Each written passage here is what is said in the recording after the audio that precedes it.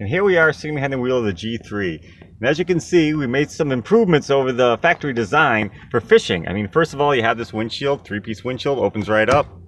You can walk on the bow to get out so the captain doesn't get his feet wet. And of course, it gives you a spot to mount the pole holder if you're going fishing. And you run along the back here, we add some additional pole holders to mount more poles. And then in the center section, you need a place to make to hold the net.